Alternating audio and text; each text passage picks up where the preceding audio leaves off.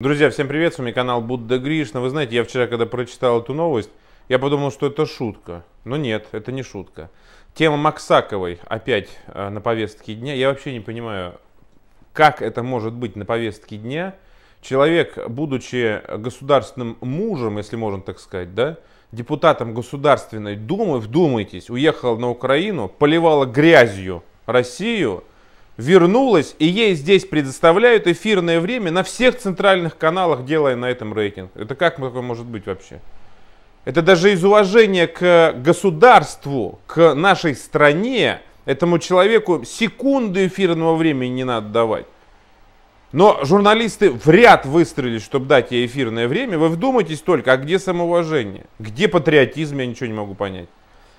И полощут ее там и квартиры, и мать, и дети, и лишь бы рейтинг сделать. Да заглохните вы уже с этой Максаковой. Вы понимаете, она никому не интересна, Максакова. Но то, что сделал Малахов, я промолчать не могу. Он встал перед ней на колени. Вдумайтесь, друзья. Я не думал, что этот человек может опуститься так. Для меня лично, это мое оценочное суждение. Вы понимаете, мне так кажется. Это просто, это просто Ужас какой-то. Ей нельзя вообще эфирное время давать. Как можно взять человека, который поливал грязью страну, будучи до этого в Государственной Думе, пускать на центральные телеканалы, давать эфир, чувствуя, что есть рейтинг, ради рейтинга, вы понимаете, готовы на все абсолютно. Ну разве после этого можно уважительно относиться? Это ужасно абсолютно, я считаю. Нужно забвению было придать Максакову, и пусть она своими делами занимается, решает и квартиры, и машины, и все. Как только она появилась здесь, тут же опять все программы с ней. Я ничего не могу понять. У нас других проблем нет, кроме Максаковой. Херней этой, а, значит, людям мозги разжижать. В чем проблема, я не могу понять. У нас нет других проблем в стране. Откройте новости, там миллион новостей, о которых можно рассказать по федеральному телевидению для того, чтобы помочь решить проблемы людей. Это не канал на YouTube, который смотрит определенное количество людей, совершенно небольшое. Это миллионная аудитория, десятки миллионов людей, не только в России, но и по всему миру. Это же ужас просто какой-то. Прости меня, правда. Малахов в эфире своего шоу встал перед Марией Максаковой на колени, друзья. Ну, ну, у меня слов нет просто. Телеведущий попытался извиниться за приглашенных на шоу гостей. Новый эфир скандального ток-шоу Андрей Малахов «Прямой эфир» был посвящен уже в который раз истории Марии Максаковой. Но взял бы на год просто, и Максакову снимал одну. Э, значит, тем для... Вот до чего «Привет, Андрей» программа душевная бывает у него, хорошая очень. И до чего программа, значит, э, э, прямой эфир, это просто какой-то слив натуральный. Тем для обсуждения в ее жизни недостаточно, предостаточно, простите. Вот видите, недостаточно. Недостаточно, нечего обсуждать, предостаточно. И недавнее ограбление, и сложные отношения с родственниками, и, конечно, ее украинский период жизни с мужем Денисом Вороненковым. Неожиданно для многих, покойным, кстати. В числе гостей, приглашенных для обсуждения, оказался отец киллера, который убил ее супруга, бывшего депутата. Вы просто вдумайтесь на секундочку. Я не видел эту программу, но если это так, это просто трэш. Кто отвечает за это, кто додумался позвать в гости отца киллера, который убил ее мужа. Это же просто вообще уже, понимаете? Это, это не просто берега попутать, это вообще их не видеть уже. Ну это же, я не знаю, друзья, но, э, ну, ну как это можно показывать в таком формате? Значит, по словам Малахова, до эфира мужчина клялся, что хочет извиниться за сына перед оперной певицей, но в ходе шоу повел себя странно. Александр Паршов заявил, что не собирается просить прощения. Более того, он обвинил Вороненкова в том, что беглый депутат использовал закон в своих корыстных целях. В результате Максакова просто разрыдалась в эфире, а телеведущий, дабы разрыть обстановку и успокоить главную героиню, встал перед ней на колени. Просто это, это, эти кадры, это вот, знаете, заставка прямого эфира теперь должна вот выглядеть вот именно вот так.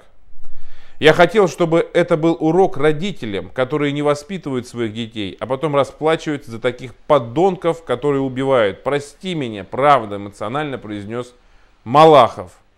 Значит, э, вы знаете, я хочу сказать, что э, это просто за пределами разума человеческого, понимания.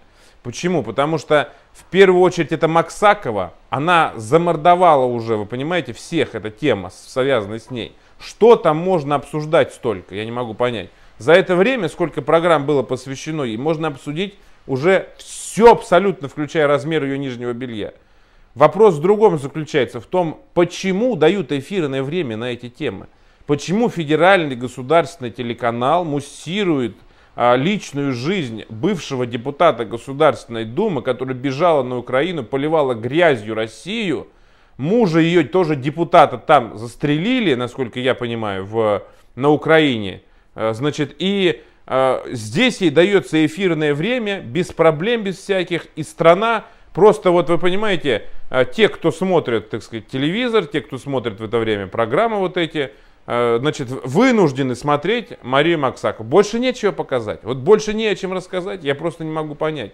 Вы вдумайтесь только на секундочку, сколько в стране проблем, о которых можно рассказывать в то время, когда а, значит, идет программа Малахова. Он ДНК сделал всей стране, теперь видим Мария Максакова. Только она пересекает границу, мне кажется, а, значит, она еще в воздухе находится. Ей уже, мне кажется, звонят журналисты, чтобы ее пригласить на эфир. В чем магия Максакова? Я не понимаю, в чем ее такая притягательность, что ее нужно срочно пригласить? Что, она такой рейтинг обеспечивает? Я просто не могу понять. Я не могу сказать, что какой-то рейтинг, какие-то особые просмотры там с этой Максаковой и так далее. Но то, что Малахов встал на колени перед ней, друзья, а вот э, э, скажите мне, пожалуйста, как вы относитесь к тому, что Малахов встал на колени? Вы вообще читали заявление Максаковой, когда она была на Украине о России?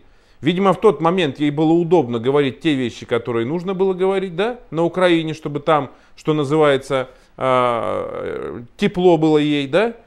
И вы вообще вот почитайте ее заявление. И как вы относитесь, мне вот интересно, напишите в комментариях, что Малахов, ведущий государственного федерального телеканала, встает на колени перед, неважно, что он пригласил, там ошиблись, может быть, там еще что-то, гость странно себя повел, встает на колени перед человеком, который фактически, фактически поносил, поливал грязью нашу страну, Россию.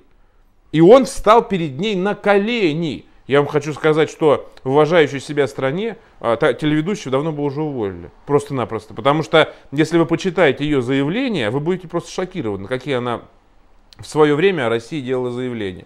И он, несмотря на все на это, меня просто это потрясло, понимаете, он встает перед ней на колени. Хорошо, он встает за, э, так сказать, ну, ошибкой вышла, это понятно, так сказать, чтобы разрядить обстановку и так далее.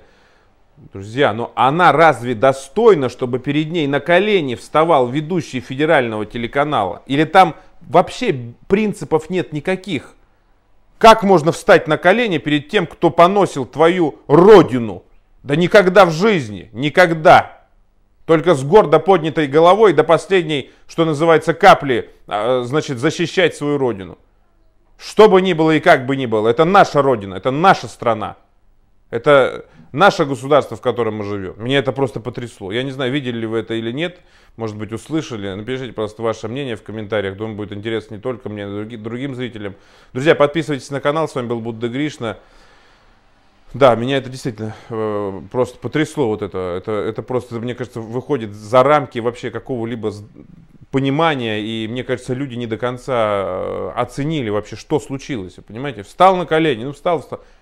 Вы понимаете, что есть люди, которые в свое время делают заявления ради своей собственной выгоды, перед которыми нельзя потом вставать на колени на земле нашей Родины. Вот это самое главное. Ставьте лайк и дизлайк, кому э, нравится, не нравится, друзья. Э, также напоминаю, что есть Инстаграм, можете прислать новость, если э, чувствуете, что она интересна и хотите, чтобы она прозвучала в эфире. Какие-то фотографии из моей жизни, прямые эфиры не пропускайте, подписывайтесь на Инстаграм, Будда Гришна, нижнее подчеркивание, единичка на латинице, и на русском Будда Гришна в поиске Инстаграма рядом, Инстаграма рядом три российских флага. Всем пока, друзья, до встречи.